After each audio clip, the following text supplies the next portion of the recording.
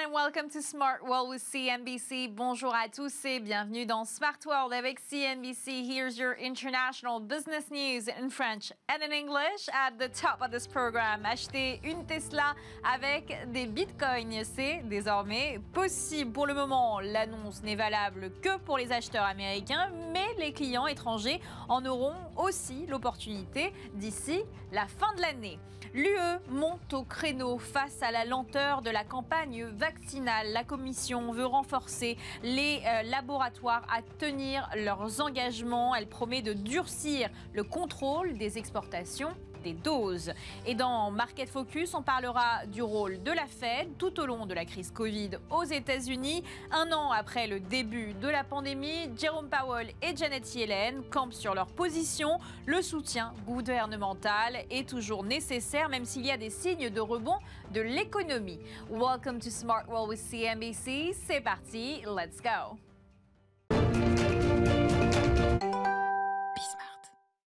C'est désormais possible. Vous pouvez acheter une Tesla avec des bitcoins. Elon Musk le confirme. Ce n'est pour l'instant disponible que pour les clients américains, mais les achats en crypto-monnaie seront ouverts plus tard dans l'année aux acheteurs étrangers.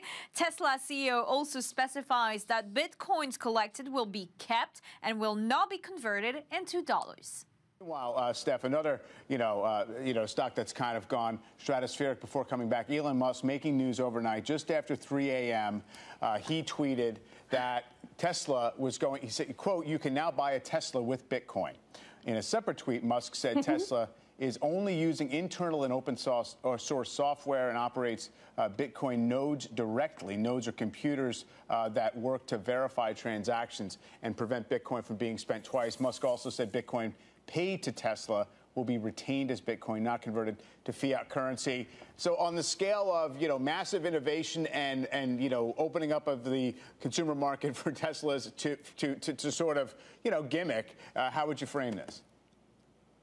Yeah, I mean, it's not a surprise, Mike. You know, right? Last month they announced, uh, Tesla announced they're investing 1.5 billion rather in uh, into Bitcoin. So it's just a natural kind of progression, if you will, that they would now accept in the U.S. and then internationally later this year. You know what I kind of think is even more interesting? Not so much from the Tesla angle, but you have some other real companies, and Tesla's a real company, but you have some other real companies that are embracing Bitcoin as well. Mastercard and uh, BNY Mellon, it's the oldest bank in America. America. And, and so you have other companies as well. And so it's here. It's here to stay. I'm not invested in Bitcoin. It's very volatile, but I understand it. And it's very interesting just to watch the real companies out there embracing this whole technology. And, uh, and I think it's something really, it's very quite fascinating. Et justement, à ce sujet, Sybilla nous parle de l'empreinte carbone du Bitcoin.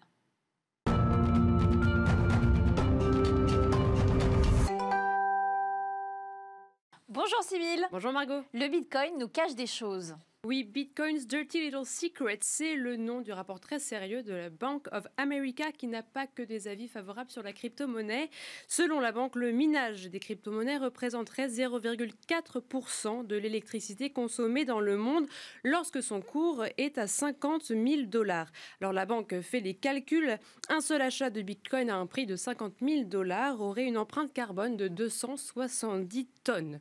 Et l'engouement autour du Bitcoin n'arrange pas les choses, L'énergie nécessaire pour miner la monnaie est désormais supérieure à la consommation de certains pays. Bank of America classe la consommation énergétique du Bitcoin au-dessus de celle de la République tchèque, du Chili et de la Grèce. Et pour l'instant, cette consommation tend à augmenter. Francisco Blanc, auteur principal du rapport, se dit particulièrement inquiet. Le rythme du changement est énorme, dit-il. Rien ne croit à ce rythme dans le monde de l'énergie. Comme vous en avez parlé tout à l'heure, Margot Tesla a annoncé accepter les bitcoins pour acheter euh, ses voitures et cela va ne pas faire baisser le cours de la monnaie. Et les émissions de CO2 sont aussi très élevées. Oui, sur l'échelle des émissions de CO2, le Bitcoin peut être comparé à certaines des plus grosses entreprises les plus polluantes. Il émet plus de CO2 que la compagnie aérienne American Airlines. C'est la plus grande compagnie aérienne du monde qui transporte plus de 200 millions de voyageurs par an. Le niveau des émissions a progressé de plus de 40 millions de tonnes de CO2 autour des, au, cours des deux dernières années. Et l'année dernière, donc en 2020, la création de Bitcoin a émis plus de 55 millions de tonnes de CO2. Mais en quoi miner la crypto-monnaie est-il polluant? Alors, la fabrication de ces crypto-monnaies s'appelle le minage. Le minage consiste, à l'aide d'un matériel informatique, à enregistrer des transactions sur une blockchain. Pour miner, il est nécessaire de résoudre un problème cryptographique et cela nécessite une forte puissance de calcul. Euh, la Chine contrôlerait environ 50% de toute la puissance de calcul du réseau. Or, près de 60% de la production d'électricité chinoise provient de centrales à charbon. La Chine possède aussi des coûts d'électricité euh, très faibles et c'est une caractéristique extrêmement attrayante pour les mineurs de Bitcoin. Mais l'avantage du Bitcoin, et ce sera là les arguments des mineurs, c'est qu'il est possible d'utiliser de l'électricité qui sera générée par des énergies renouvelables. Plus leur développement avance, plus l'émergence du Bitcoin propre sera probable, argumente-t-il. Mais le rapport euh, de la banque ne s'attaque pas seulement au problème énergétique du Bitcoin, elle critique fortement la volatilité de la monnaie et le côté artificiel des prix. Le principal argument pour détenir du Bitcoin n'est pas la diversification, euh, ni les rendements stables, ni la protection contre l'inflation, mais plutôt la simple appréciation des prix, écrivent-ils sans pincette. Merci beaucoup Sybilla Oudjan pour ces précisions et tout de suite le reste de l'actualité avec Top News.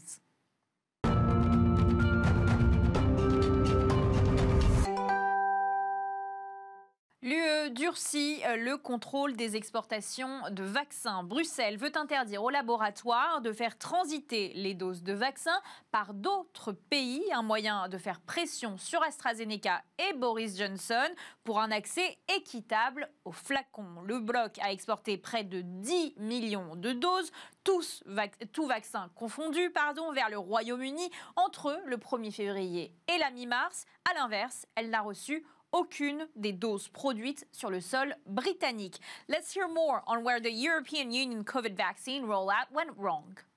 You're bringing up exactly the rub. I think that when these arrangements were made, by the way, it was very clear that the EU in particular put an incredible emphasis on AstraZeneca, just like the United States had tried to put some even bets on a number of their manufacturers. So, in the case of the EU, AstraZeneca was something that they, of course, the other manufacturers are in there, but AZ was kind of the leading manufacturer with supply.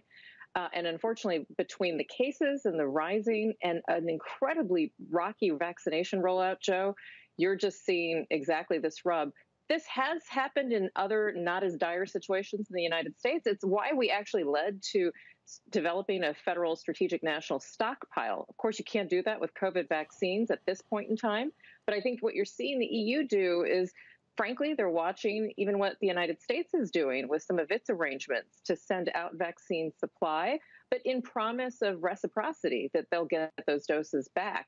That was only after the United States, Joe, had accomplished its goal of securing enough supply to at least vaccinate all adults by at that time by the end of May. It now looks like it could be even sooner because we're doing 24 7 manufacturing. So this is a difficult situation, but I got to be honest, when you're looking at lockdowns, which is what they're doing in the EU, it makes sense to actually prioritize your country's needs first.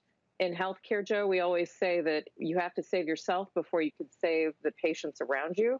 It's essentially how the EU is acting. Et en plus de la Commission, les différents leaders des pays européens montent au créneau. La lenteur de la campagne vaccinale européenne agace ses dirigeants. Ils pointent du doigt les laboratoires et les accusent de ne pas respecter leurs engagements. Spain's Minister of Foreign Affairs, Arancha Gonzalez, discusses the EU's decision to implement export restrictions on vaccines. Well, uh, in Europe, uh, the export restrictions we have um, prepared for were never meant to be against countries.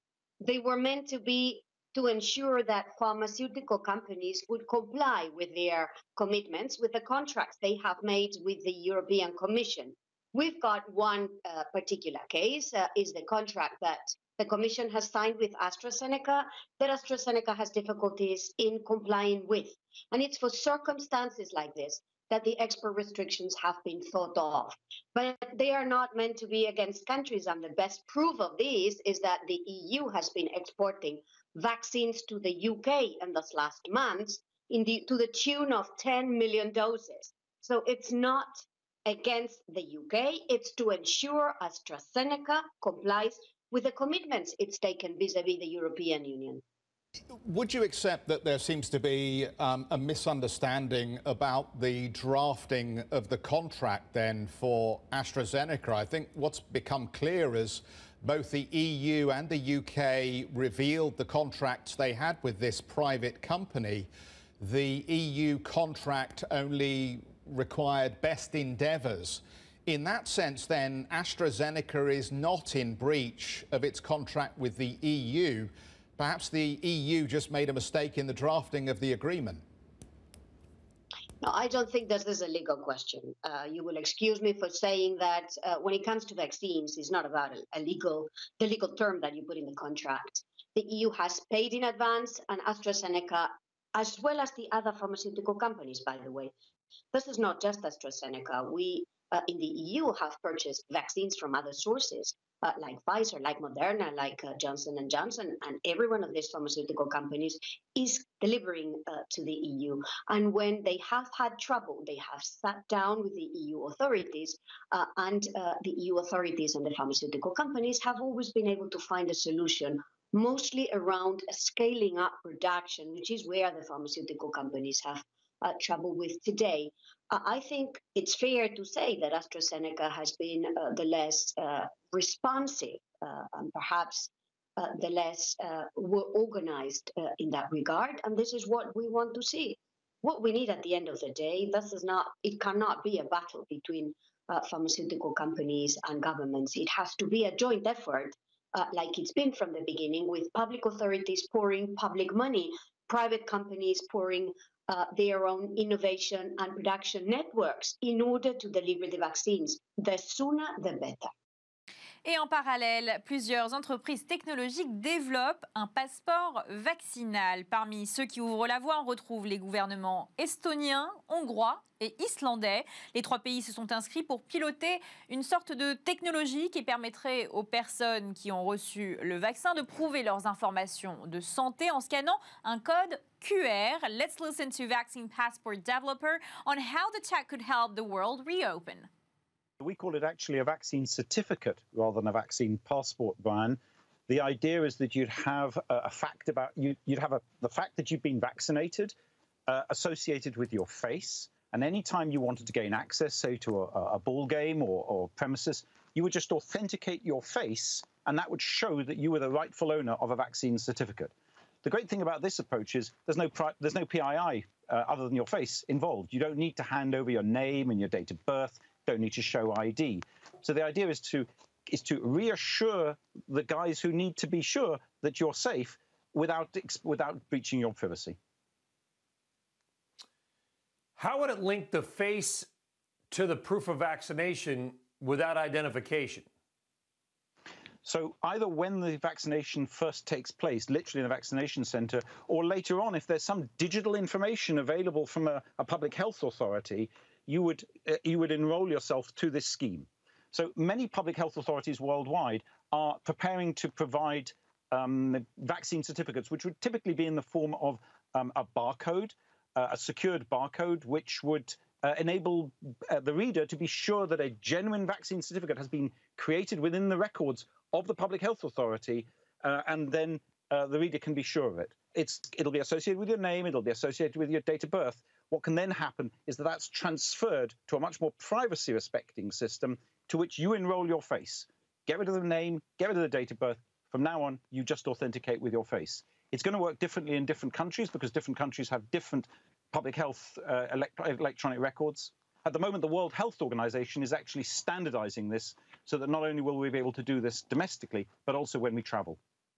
Toujours dans le secteur de la technologie, face à la pénurie de puces, Intel annonce la construction de deux usines de semi-conducteurs aux États-Unis. Des investissements initiaux de 20 milliards de dollars pour ces nouveaux sites en Arizona. Pat Gelsinger annonce aussi la formation d'une nouvelle division aux États-Unis et en Europe, baptisée Intel Foundry Services, un entrepôt spécialisé dans les matériaux nécessaires pour la production de puces. Intel CEO wants to both strengthen its own production capacities and increase the use of subcontractors manufacturing expansion plans beginning, they say, with $20 billion investment to build two new fabs or factories in Arizona. They go on to say that this is going to create 3,000 high tech jobs, 3,000 construction jobs, and 15,000 long term jobs. Intel's new uh, CEO, Pat Gelsinger, saying in a statement, We are setting a course for a new era of innovation and product leadership at Intel. He says Intel is the only company with the depth and breadth of software, silicon, and platforms, packaging, and process with at scale manufacturing customers that can depend on for their next generation innovations. Uh, two more quick bullet points I want to bring you, Melissa. Uh, in this release, they also say that they are reaffirming the company's expectation to continue manufacturing the majority of its products, though internally. They also give an update here on their seven nanometer um, development. They say, in their words, that is progressing well.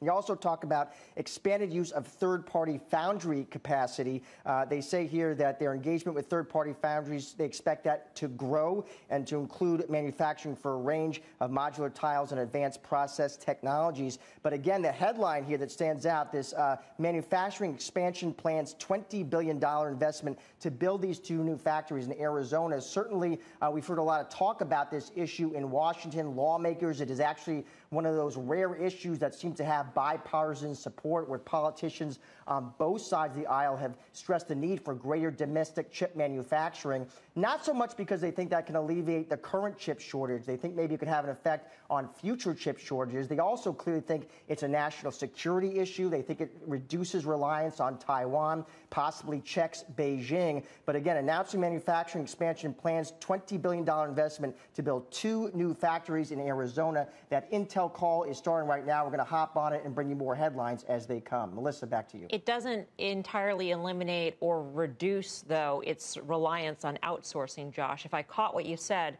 they're actually going to increase outsourcing of certain key components. So, to that extent, Intel will still be dependent on foreign manufacturers.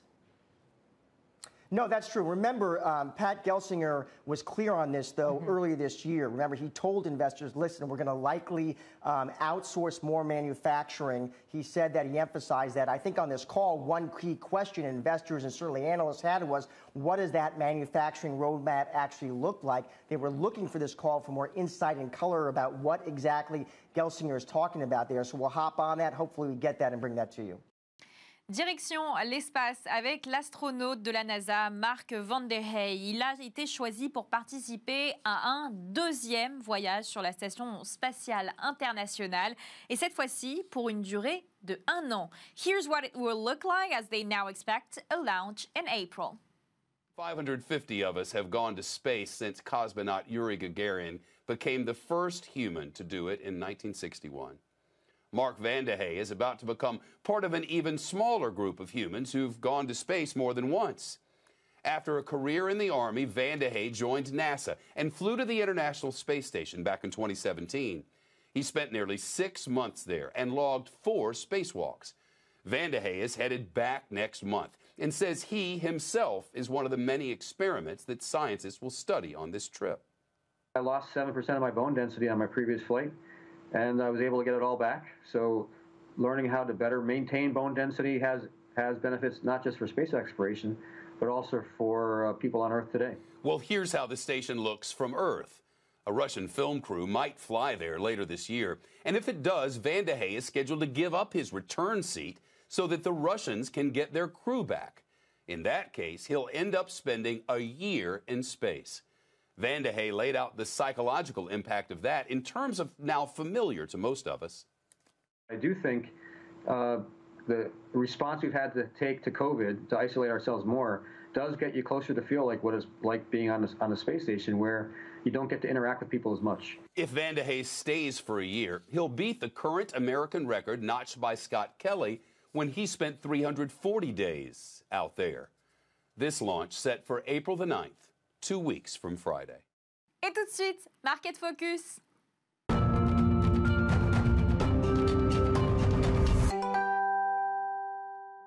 Tout au long de cette crise, la Fed s'est posée en tant que bouée de sauvetage pour l'économie américaine. La Réserve fédérale est intervenue avec un large éventail de mesures pour limiter les dommages face au risque de très nombreuses faillites aux États-Unis. La Banque centrale américaine a injecté 2300 milliards de dollars de nouveaux prêts pour soutenir les ménages, les employeurs, les marchés financiers et les gouvernements des États locaux. Here's CNBC reporting on why the, the Fed decided to go big on fighting COVID economic rollout.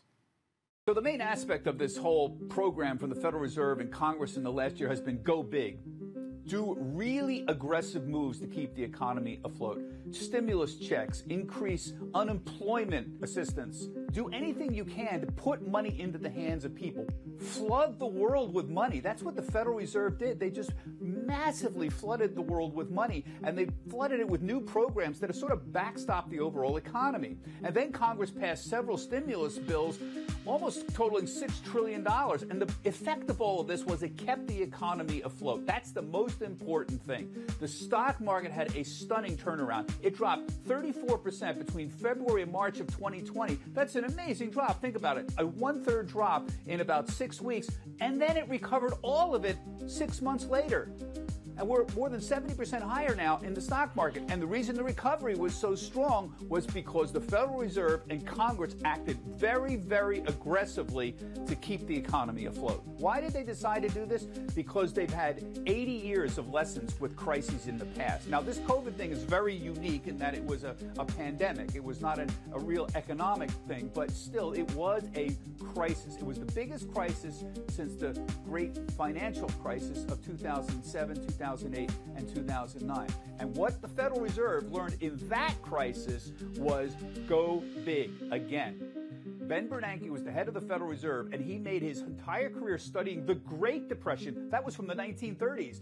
And what they had concluded about the 1930s depression was it wasn't the stock market drop in 1929 that really caused the depression. That was just a factor. What really exacerbated the whole thing and made the 1930s really bad was the Federal Reserve and the government didn't do anything to assist people until the early part of the 1930s. And by then things were really bad. So Bernanke said, listen, if anything disastrous ever happens while I'm on the watch, I'm going to be big. And in 2008, 2009, they pushed through very aggressive programs. What they learned as a result of that was they should have done even more. And that's why Janet Yellen has been all over the place saying, go big, go really big, because they saw in 2008 it helped turn the economy around, but it took years. It took six years for the stock market to come back to normal. This time it took six months because they were so aggressive in helping people out. Of course, it helps that we had a vaccine. If we didn't have a vaccine, we wouldn't be where we are today still. Et d'ailleurs, en parlant de la Fed, Jérôme Powell et Janet Yellen étaient auditionnés au Congrès hier. Ils ont fait face à des questions des sénateurs sur les risques d'inflation à la suite du plan de relance de Joe Biden. Selon eux, même si les signes d'un rebond sont visibles, il est important que le soutien gouvernemental se poursuive. Here's what Janet Yellen and Jerome Powell told the House yesterday. Here's the set list from Powell and Yellen. One, economy's improving. Two, still a long way to go. Three, massive fiscal and monetary stimulus has been needed, and they closed the set with inflation will be temporary. On inflation, Powell was asked directly yesterday about the impact of the $1.9 trillion stimulus bill. He responded that while he sees prices rising, he does not forecast it will create sustained inflation. Our best view is that these, uh, the effect on inflation will be neither particularly large nor persistent. And part of that just is that we've been living in a world of strong disinflationary pressures around the world, really, for a quarter of a century. Yellen said she sees the full employment perhaps by next year, also making clear the Biden administration will likely be looking to raise taxes with the next spending package they propose. And she specifically mentioned corporate income taxes. The stimulus package, the um, American Rescue plan was not funded with any increases in taxes, but um, a longer term plan uh, that addresses uh, critical really needs hasn't. of this economy probably would would be accompanied by some re- revenue raisers. Et restez avec nous pour Unexpected avec Kossé Labouèche.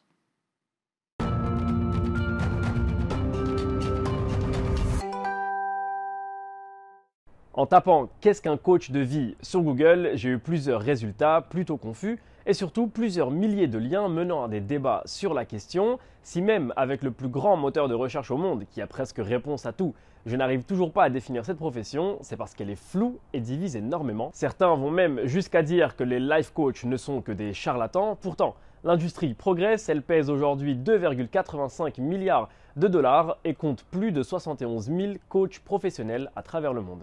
Coaching's about partnership. When coaches work with clients and when I work with a client, I'm their thinking partner. With coaching, we recognize that the clients are going to provide the answers for themselves. Coaching is not problem solving uh, or advice giving, it's a relationship.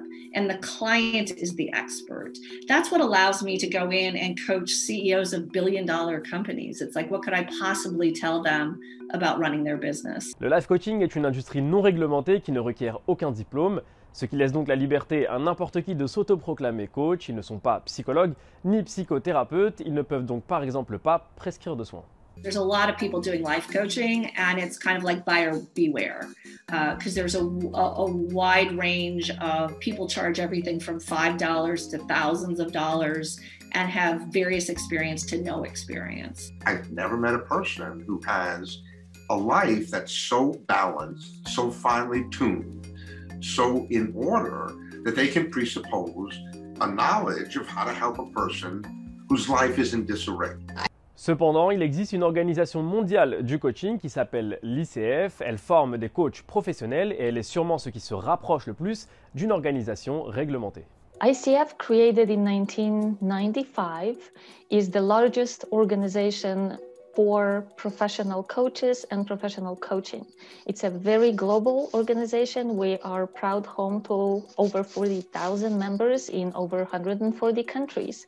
And the mission of the organization is to advance uh, the professional coaching and make sure that coaches adhere by the stringent standards and ethics in professional coaching. Les services de ces coachs vont de 250 à 1000 dollars, souvent pour des sessions de 2 à 3 heures dans le mois et parfois pour une simple heure, elles sont hebdomadaires. Il suffit d'une recherche sur YouTube pour avoir un large choix de vidéos tutoriels expliquant comment devenir life coach et gagner beaucoup d'argent. La pandémie et ses confinements ont été l'occasion pour certains de s'essayer à être coach de vie, mais aussi pour tenter l'expérience en tant que client.